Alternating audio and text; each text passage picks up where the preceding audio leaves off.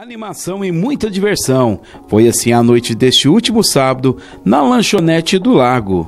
Olha, foi um movimento inesquecível.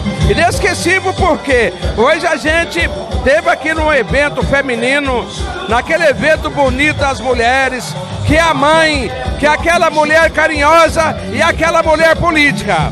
Foi um jantar dançante e beneficente, sob a organização de um grupo de mulheres chamado Força Feminina. É a união de várias mulheres que se propôs a trabalhar juntas para a gente mudar e ajudar a comunidade.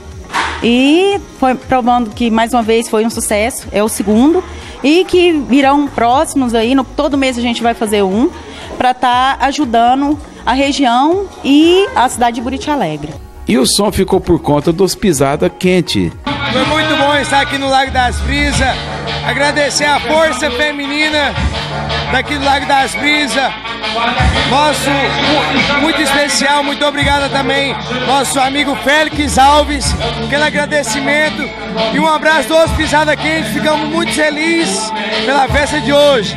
Valeu, valeu, um abraço a todos vocês. O vereador Félix vem sempre apoiando o ato de solidariedade e também apoiando grandes eventos no município de Buriti Alegre. É isso aí, Fabiano. É esse gesto que o grupo Força Feminina tem feito aqui por essa região, uma das coisas mais satisfatórias que dá a gente poder ajudar. Fico muito feliz de participar, de ajudar, de ajudar a comunidade, de ajudar a nossa população tão sofrida.